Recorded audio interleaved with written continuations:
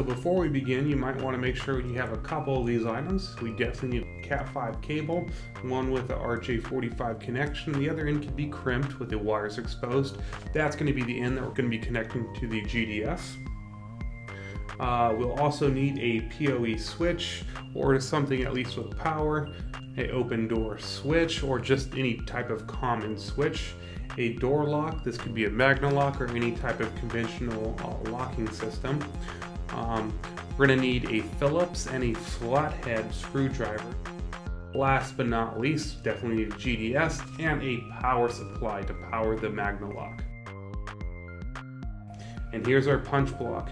Now here's something that you should do before you start uh, doing your wiring. Make sure you go to each one and open it and it's going to be very conventional, lefty loosey, righty tighty. So if you could remember that, you can work with this punch block. But I like to unscrew everything so I know that when I insert a wire, all I have to do is tighten it for it to properly clamp. Now, in order to get the PoE to work, we will have to pair the brown white and the brown wire and twist them together. We're also going to be doing this with the blue and blue white wires, they need to be two pairs in which connects into the back end of the GDS block. One thing you should do is pull off that rubber grommet and go ahead and thread your ethernet cable through. It should fit nice and snug, but not too snug to where you couldn't get any other wires past that grommet.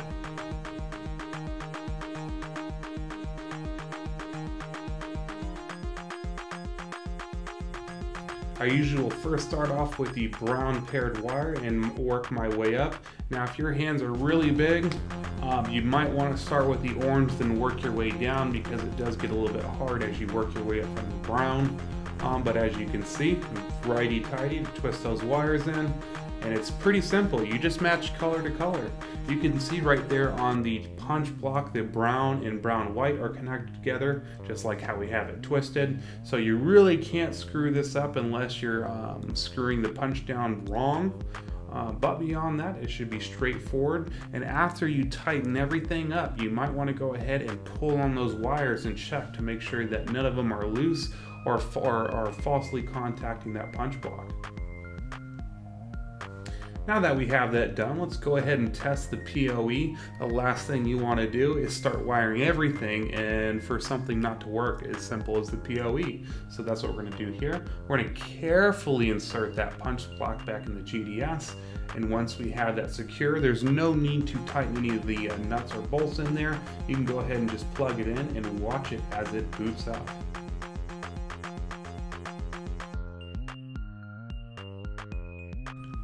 Bell turning blue and it should start blinking white. Perfect. And then you'll get a cool little blue indication of all the keys uh, starting to turn blue one by one. There we go. Next, we're going to go ahead and start with the rest of our wiring. Now we will be doing the failsafe electric strike PoE powering wire, di wire diagram. So we are going to be loosening the NC2 and COM2 connections. As you can see with that first wire, I'm plugging it into COM2. That is the blue wire that's coming out of it. Next, I'm going to be taking a gray wire and connecting that into NC2.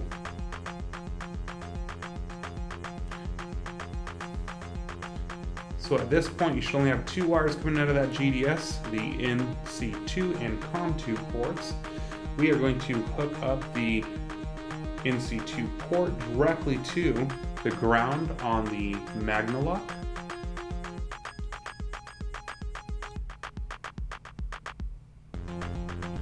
Next, we're going to be taking our COM wires and plugging that into the ground of the power supply.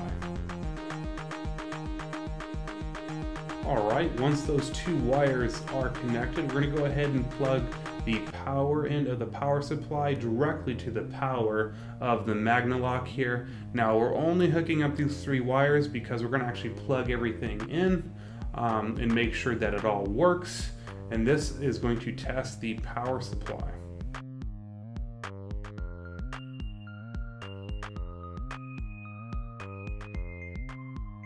plugging the power supply in and you should hear an audible click if you're using the Magnalock.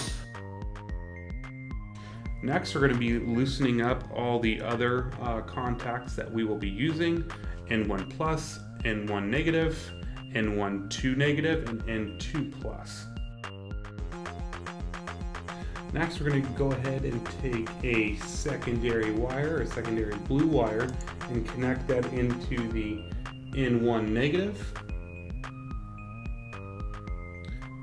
And after we get that screwed down, we're going to go ahead and take our switch and thread one of the wires into the GDS punch block, and we're going to be connecting that into the N1 plus. Now from there, we're going to take that blue wire that's connected to the N1 negative and connect it to the ground of the power supply. Now we're going to be taking the other wire of that switch and twisting it up and connecting it to the positive voltage of the Magnalock. Next, we're going to plug everything up and test. As you can see, the Magnalock just kicked out and we're good to go. We hope that you found that video tutorial helpful and if you did, don't forget to smash that like button and subscribe to our channel for the latest in video tutorials. I'm Nathan Sharp, you have a good one.